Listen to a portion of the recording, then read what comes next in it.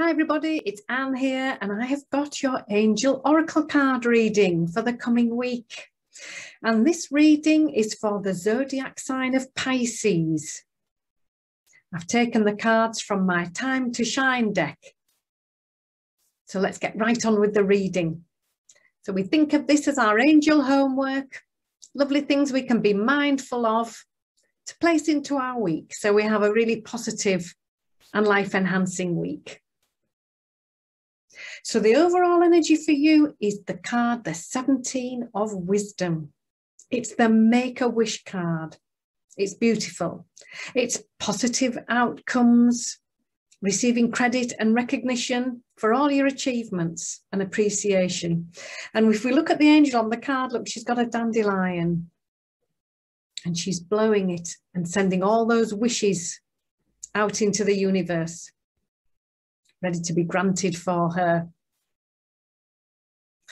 The card in this position helps us to do that. And this is the one of emotion. Now, this is about improved intuition. It's trusting your inner knowledge. What do you know? How do things feel? And that is improving. Your intuition is strengthening. So be mindful of that. It can also be new people coming into your life, a new place to live, new things. But in this position in a reading, just tells us not quite yet. Now isn't the perfect time for that just now, but it's on its way. So trust your intuition for now. Enjoy that. It's improving. Moving on, we have the card, the Eight of Thought. This helps us what do we need to do? This is our guidance. So we need to break free from our negative thinking, our negative beliefs about ourselves, and we need to be ready to move forward to positive new things. These are your wishes. You need to be ready for when those come along to find you. And in order to do that, to break free from this negativity, you need to do that to move forward. So look at the angel. She's got a red balloon there and it's absolutely full of negative thoughts about herself, about her life. These are fears. These are doubts. She's about to pop that balloon with a pin because she doesn't need those anymore. They're holding her back because look what's just arrived. A brand new balloon saying, oh, yes, I can. She's turning her back on those old doubts and fears and saying, No, I'm moving on. I don't need you anymore.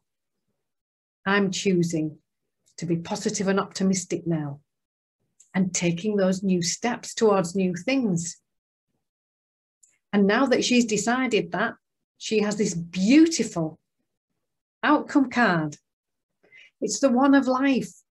It's the card of abundance, of new opportunities, new doors opening.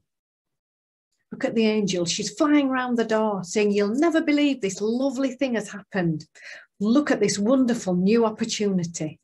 And I'm ready to take it. And that's what you need to be ready for this week, Pisces. So, just to summarize for you, enjoying positive outcomes receiving credit and recognition for your hard work and some appreciation. Make the wish. Trust your intuition, it's getting stronger. New people, new places to live, new things, new relationships are coming in to find you. And that could be a work relationship, it could be a personal relationship. They're on the way. Can you see them drifting in? They're not here yet, She's just got to wait a little bit longer for those. To help her manifest all this abundance, the thing she has to do is to break free from that negativity, to have some self belief. Say, I don't need to do that anymore. I'm stepping forward. I'm getting rid of that negativity. It holds me back because I can do this. Yes, I can. That's a lovely mantra for you this week. Oh, yes, I can. When you do all of those things, New doors will open, new opportunities will find you, abundance is coming towards you for you to enjoy.